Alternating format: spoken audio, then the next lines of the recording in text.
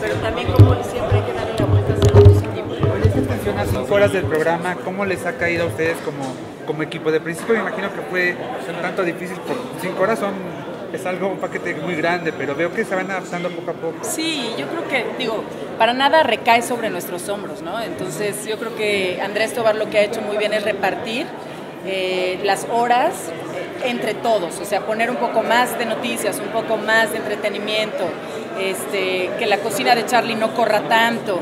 Entonces, yo creo que no, no se ha sentido tan pesado, la verdad, para todos. Gary, ¿qué consideras que, que son cosas que deberían sumarse al programa futuro, ¿no? ¿Qué más puede albergar este material? Pues yo pienso que el tema de wellness, ahorita cada día más, sobre todo en México, está más de boga. Eh, todas las personas queremos sentirnos mejor, eh, tener más energía, vivir con mayor plenitud. Entonces yo creo que también puede haber espacios como los habíamos tenido antes, a lo mejor un poco de sección de yoga, un poco de sección de táctil, este, de funcional, de diferentes técnicas que la gente puede ir aprendiendo para adoptar lo que para ellos es bueno, ¿no? Luz, ¿cómo va el libro? ¿Cómo va el libro? ¿Cómo va tu libro? Muy bien, todo muy bien. Ibas a hablar sobre tu suegra. Sobre mi suegra, sobre mi exmarido, sobre mis hijas, sobre toda la vida. No, va bien, la verdad estoy contenta. Ha sido un proceso, eh, pues que sí me ha tocado el corazón bastante, ¿no? Como que hay veces que tu historia nada más la vives y muy pocas veces la revives.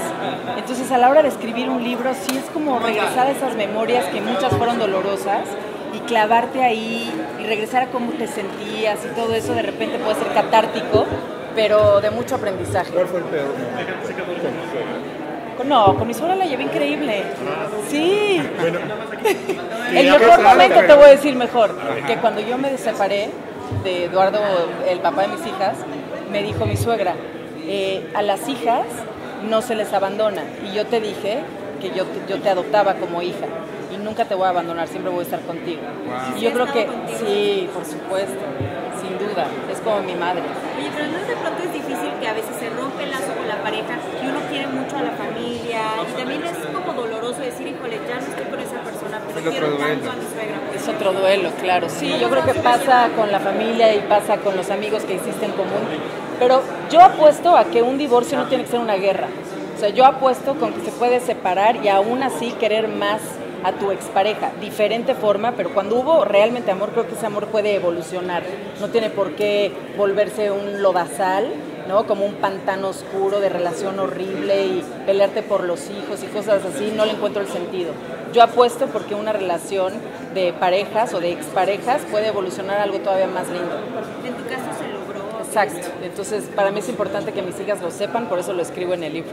Pero ya me voy, si no me voy a perder de la fiesta, oigan. Claro, rapidísimo Luz María, Gracias. regresar a la televisión eh, actuando pues, ¿te gustaría ahora que están Ahorita, haciendo cosas? sí, pero ahorita estoy ocupada con mi libro, con mi conferencia, con el programa, entonces ahorita estoy por lo pronto ocupadísimo. Eso, gracias. Un placer, gracias.